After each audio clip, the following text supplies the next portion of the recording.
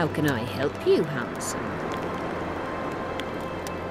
Want to roll a few rounds of dice poker? I'll play you just as soon as you thrash Zyvik. I'll be back.